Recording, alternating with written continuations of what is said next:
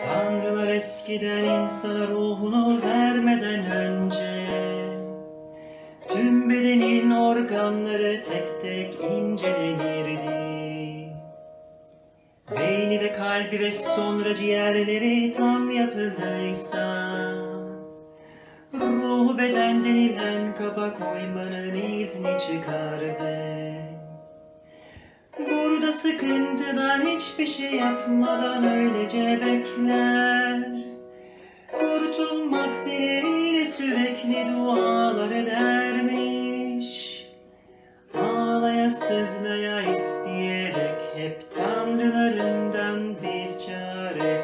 Bunu duymuş tanrılar en güzelinden bir çift göz göndermiş. Ruh